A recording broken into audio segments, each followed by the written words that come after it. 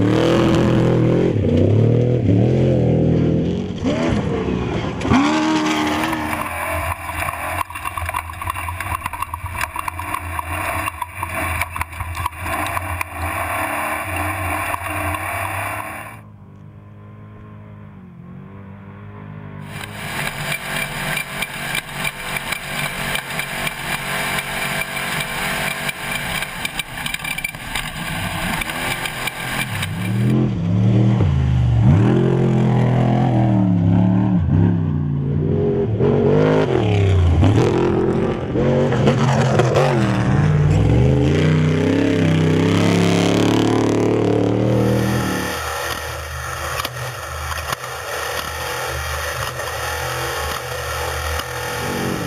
Yeah.